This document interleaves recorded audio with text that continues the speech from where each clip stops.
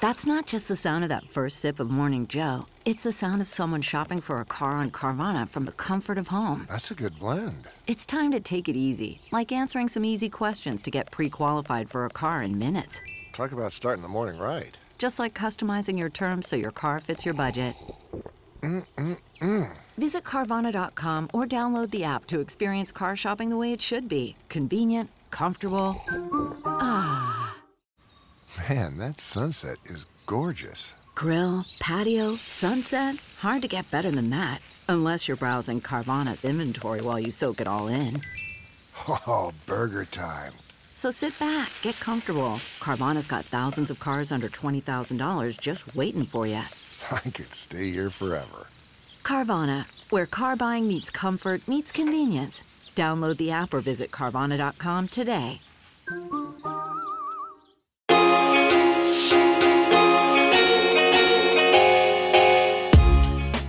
If you have ever lived with a puppy, you'll know that it will have no clue whatsoever of the difference between a cushion or your laptop. It will happily chew, scratch, or jump on either of them.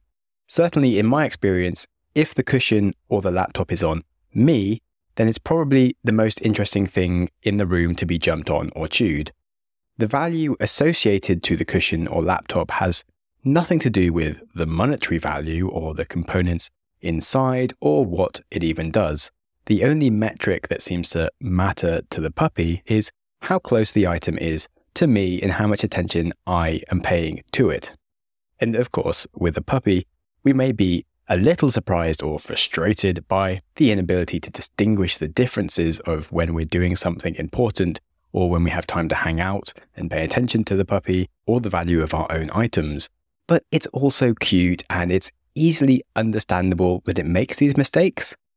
However, it's not so obvious for other people. We have this expectation that other people are going to understand the things that we hold value for. We'll often expect them to also hold similar levels of respect and importance of, you know, our values. But in many situations, it's completely untrue. Some simple examples to prove that most people don't care about what I care about. The musician who I spent the most time listening to this year was Nick Mulvey on Spotify, and it was the same last year. I follow his Instagram, I know when he releases a new album, and I get excited. It would genuinely take up my week. And most people haven't heard of him, or I've run several businesses and spend plenty of time thinking about the startup world, disrupting business ideas, venture capital, etc. And even if some people care about the startup world, they still don't know what it's like to be an entrepreneur or the amount of stress you have or why you might care about doing that thing when you could also just get a normal job. Then, just looking at that area, you could go even more niche and consider the people who I look up to in the London startup ecosystem or in podcasting. They might be legends of the bubble which I live within, yet in the big scheme of the world and life, those people are completely irrelevant to 99.99999% of humanity. It's actually quite a funny reoccurrence that happens in all cities. Wherever you are, the locals seem to think that the world does revolve around them a little bit, whether you're in London or Stockholm, Tokyo or Austin. There is a real culture of denial that there is a giant and real world going on outside. Before you feel like these modern times are silly, Self obsession is hardly a new thing, it's a long time human problem. I've recently been geeking out learning about the Han dynasty of China that existed around the same time as the Roman Empire. If you're into the Fall of Civilizations podcast, they have a really good episode on the Han Empire and also the Roman Empire. And I always find myself listening to it whilst I'm cleaning. I don't know why, but it's perfect for that. Anyway, the Han Empire was hugely relevant to Asia and, well, the world. It was, by some estimates, 15% larger than the Roman Empire, and it was an incredible feat of politics, power, engineering to unite such a giant population of 60 million people then, which is the same population Europe was at the time, and over a land mass of 4 million square kilometers. Such an incredible feat that is completely comparable to the feat of the Roman Empire, ruling pretty much the entirety of Europe. So you might argue that the Roman Empire is more important because it lasted a few hundred years longer. But the Roman Empire is definitely just history for good. It has ended. Whereas the Han Empire, which is basically China, has changed hands of who is ruling it. It's fallen apart a few times and it's come together several times. But amazingly, that empire that began 2,000 years ago is basically still a single political entity and currently the second most powerful country in the world, China. Yet, in Western history, we don't even study the Han Empire. I'd never really looked into it or heard about it. And we seem to think that the Roman Empire is the only thing worth teaching our kids from around then. That's just silly self obsessions. But then, something just to add extra curiosity to your thoughts is that when you think about self obsession, it's actually very fickle when you look at your own internal obsessions. It's been fascinating to see my values over time change so much and I actually realize that I genuinely won't spend most of the time that I'm alive caring about the same things. I'm sure that we've all put energy into things of really high interest at some point in time. Like the person you were obsessed with when you were 16, Maybe you studied a degree for years of your life and never used it again. Perhaps you had a fight over something that you were very importantly passionate about and you don't even remember what it was that you cared about so much. We get easily consumed by a relationship, a challenge, or even an idea, yet a few years later, maybe a few weeks or even a good night's sleep later, we'll have little value or concern for that thing that we thought was important. Yet at the time, it was so important. It was our world. But we completely lost context of the rest of our life and the fact that most of the time that you're going to be alive, you actually won't give a flying crap about that thing that you care about right then. When you think about it, most of us could do an 80 20 analysis of our life and the things we care about and stop caring about 80% of the things we put lots of thought effort into that just don't matter and just focus on the few values that really do and not worry about everything else. Just let it sort itself out rather than applying stress and time into worrying about stuff that shouldn't matter. There will be a few very specific things that you want to fight for in your life, and everything else you could just stop worrying. Of course, you should still be passionate within your life and follow things with deep interest, but you could still have a more curious perspective on the outcome without so much personal drama or stress.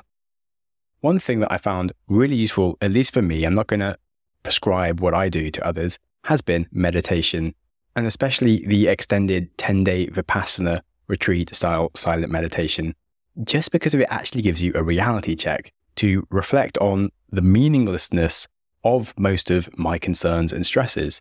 And it really did give me a greater sense of peace. Now, I'm just talking about an example here. I'm not saying you have to go do a 10 day retreat. Don't get the wrong idea on this. I found it was a way for me to get a healthy reminder of just the few things that are important and to restore my energy and focus to bring my best self forward without getting so caught up. In short, various friends have asked me what the point of doing a Vipassana meditation was, and maybe you might seem to think that perhaps I'm someone who is looking for something outside of my life to give them meaning. Perhaps being someone that goes on meditation retreats could have people class me in the box of people that enjoy astrology and chanting. Maybe I'm open to joining a cult or something. But actually, None of those things are my thing at all. But why should anybody else understand what I think is important?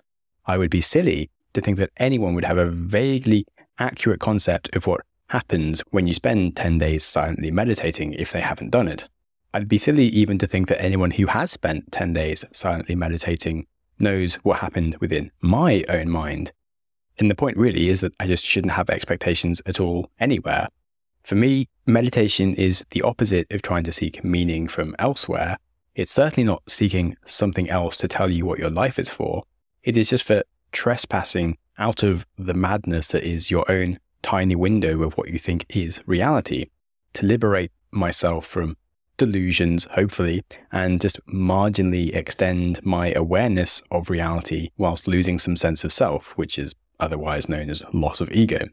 Does that mean it will work for everyone? Hell no. Can I recommend everyone to go and do it? Of course not. And I don't know how their mind works or what would be helpful for them.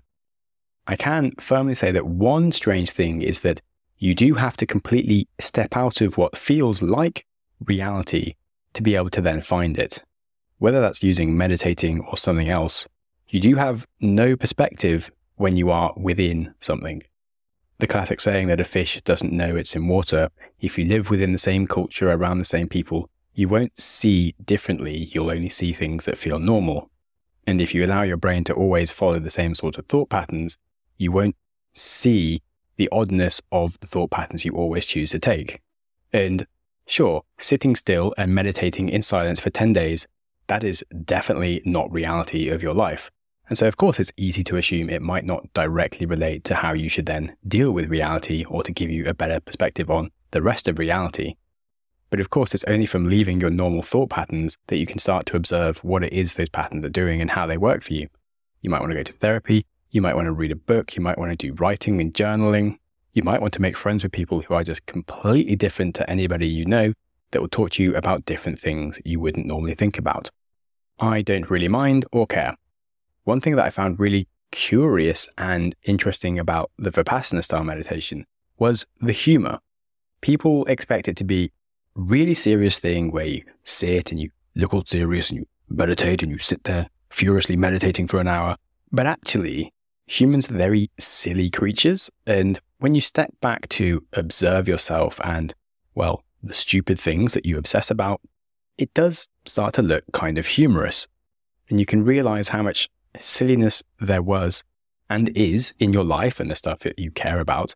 And you can laugh at yourself. And it really helps you take yourself less seriously. Remember, I was saying that 80% of the things we care about, we don't need to care about. And one way to do that is to actually find humor in those things you care about and not worry so much. The meditation leader on a Vipassana retreat is almost like a stand up comedian, but he's just talking about life and helping you laugh at yourself and be less serious. And sure, you could even say it's like a cult that's just brainwashing you but what they're trying to do is brainwash you into being a nicer, happier person. So I was all for it, but you might not be. Regardless, life does become easier when you are more bemused by things that used to annoy you rather than caring about stuff that you don't need to care about. Anyway, back to my conversation about values and reality. In most cases, being a good boss means hiring talented people and then getting out of their way. LinkedIn Jobs is here to help small businesses hire quality candidates faster and for free. It isn't just a job board with over a billion users. No, you can find professionals that don't appear anywhere else.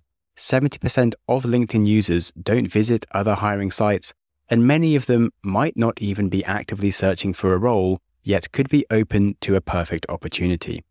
On LinkedIn, 86% of small businesses get a qualified candidate within 24 hours of posting their job. So hire professionals like a professional on LinkedIn.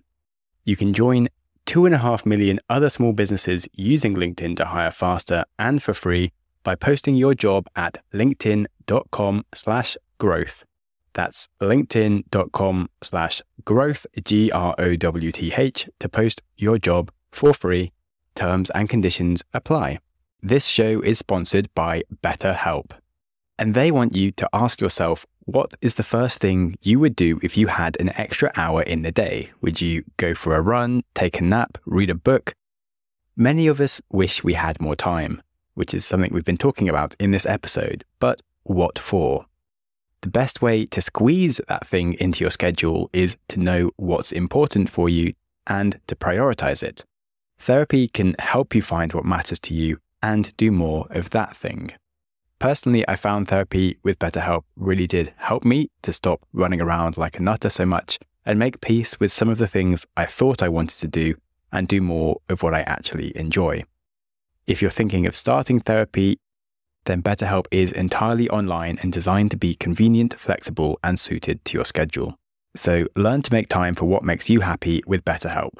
Visit betterhelp.com slash growth mindset today to get 10% off your first month.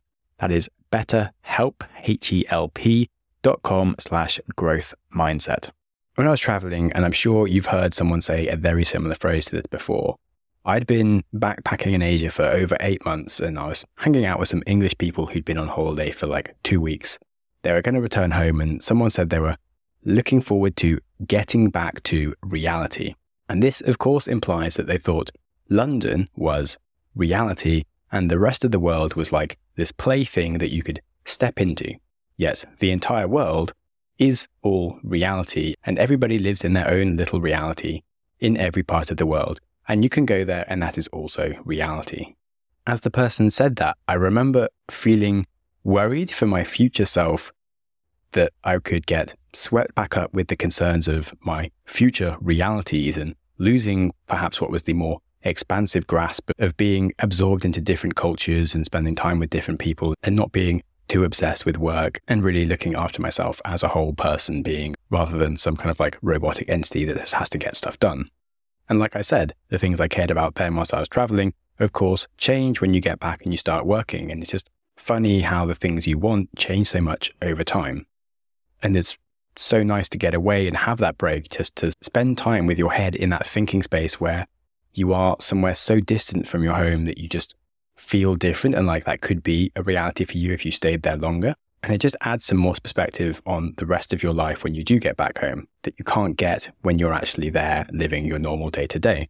Okay, so now let's start looking more into the future. We've spoken a lot more about like the past and how we thought and how we are thinking now. And a curious thing about humans is our attraction to a continuous future from now on. We are critically aware of how much we have changed over time. As we grow, our obsessions did change radically, and eventually we became the person that we are now. We can remember how we thought we'd love eating sweets and playing computer games for the rest of our lives. When we get older, we'd do even more of it, and eventually we'd retire where we could just do it full time. And yet now we realize how silly we were. We are now, of course, much more aware of what is really important, and we invest our time and energy into that instead. Of course, that is the important thing that we will want to do forever when we are retired. We have instantly blinded ourselves to the fact that our current interest is not our future interest. In the same way, we'll notice all the lessons that we've had and how naive we were about our relationships, career, life, all those hard lessons we've had over the past five years and how blind we were to each of them that suddenly appeared out of nowhere because we just couldn't have expected it. Yet we'll forget that next year there'll be a ton of stuff we aren't ready for that will be full of more lessons, and current us right now will be viewed as a complete bumbling idiot with a childlike mentality for the things that they do. And that's just in a few years' time, the perspective you'll have on your current self right now, today. It's a lesson you have to learn again and again in so many places in so many different ways. It's something I also find really intriguing to apply to money and view that from a few different angles. I was listening to a therapist the other day who said that some teenagers would genuinely sign a contract to give you 20% of their entire life's earnings in exchange for $100 today. I'm not saying all teenagers would do that, but I'm sure you can think of one or two that would. And it does directly relate to the point that your current importance in today's problem will have such a discounting for the rest of your future problems. Another point here is how our value of money changes so much over time. I remember getting 50p to mow the lawn for two hours and being excited about it when I was like a six year old. And then 10 years later, I got my first job paying me five pounds an hour as a lifeguard and very exciting and liberating to be able to go into the world and do stuff it wasn't really enough to buy any of the things on my list that I wanted if I also wanted to make any savings. So ultimately, I actually didn't buy myself any nice things like the PlayStation I wanted. I kept it all for just pursuing adventures on a minimal budget. And I got to go and have fun adventures, which was nice. But then, fast forward another 10 years, and I closed half a million dollars worth of investment into my company. And that's considered like a small investment round. Like, who knows what I'm going to think about money in 10 years' time to go from 50p to five pounds and then to half a million. And it's just amazing how much it ratchets up so quickly. And it does make you wonder how many mistakes you are currently making right now with your own attitude towards money and perhaps a failure to think bigger It's getting in your own way from having more success. Though before you try and start thinking directly in the terms of millions of pounds. It's also fascinating to see that it can be really hard to handle big jumps in what we used to without making mistakes or messing things up. I remember my flatmate was watching this TV show where people who were living on government benefits were given £26,000 upfront in a suitcase. And the number was chosen because that's the maximum amount of benefits someone could claim in a year if they ticked like all the different boxes. And they did this TV show as like a sort of reality show trial to see if giving people the £26,000 amount right at the start of the year could help them in a meaningful way to get out of debt or start a business or just do something more useful than the continuous small handout across the year.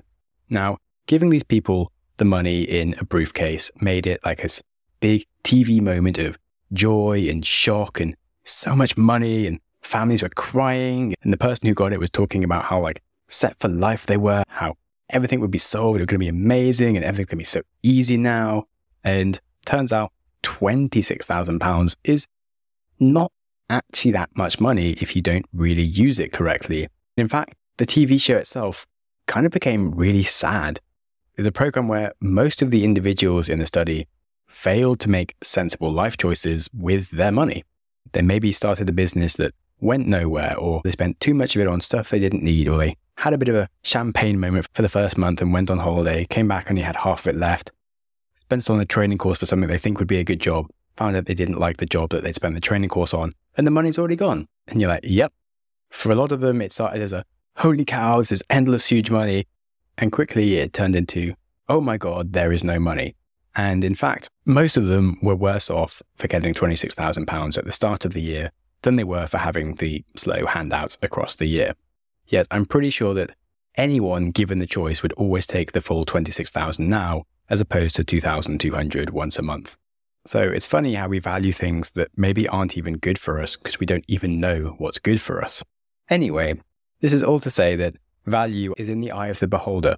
And ultimately, my slightly diverse stream of interesting observations from things that I've noticed lately in my life could lead to the conclusion that value is just very temporary and a very subjective thing that we don't grasp very well. We can understand the puppy wanting to play with whatever it is that we find interesting, but we find it hard to understand that other people might not care about what we care about. And we find it even harder to understand that we might be making terrible decisions right now that we'll look back at soon and think how stupid we currently are, such as decisions with money, or what we're doing with our career, or where we live, or our relationships. It's hard to think that we could be completely wrong. In the end, whatever someone thinks is valuable or important, that might only be correct for a few minutes, or it could, of course, be correct for years. And it's something, at least for yourself, to try and get straight with what are your long term values exactly? Because you're going to have waves of different interests in your life, and you should follow your passions, but you should know what the things are that you would never want to sacrifice on that are your values. And you should be able to think really long term about those values that will still be there in 30 years' time or in 60 years' time. And I'm not going to tell you what you should value in the same way that I'm not going to tell you to go and do a meditation retreat. Value is in the eye of the beholder after all. In fact, the only real thing I can tell you is that time is your only resource that you have, and that is constantly going down. And it's something that you should value wisely and not trade lightly. As Charles Darwin said, a man who dares to waste one hour of time has not discovered the value of life. So make wise choices, my friends. And I hope this helped give you a few ideas for different perspectives and ways of thinking about your life and your choices. If you have a friend, partner, an annoying sibling who makes truly disastrous life choices and cares about all the wrong things, then do please send them this episode specifically to remind them that they are an idiot and that they finally need to get a grip on reality. Sharing is how this show grows after all. If you value kindness, you can feel completely free to leave me a good review on any podcast player that you value. And if you didn't enjoy the show, then just wait for the show to improve. Comments, of course, are always appreciated. Any questions, hit me up at growth mindset podcast at gmail.com. And remember that life is short, so don't waste it chasing things that you don't actually care about. And certainly don't waste your life putting off happiness behind a bunch of goals that probably don't even matter to you in the long run. So take it easy, be kind to yourself, and whilst you're at it, be kind to someone else too.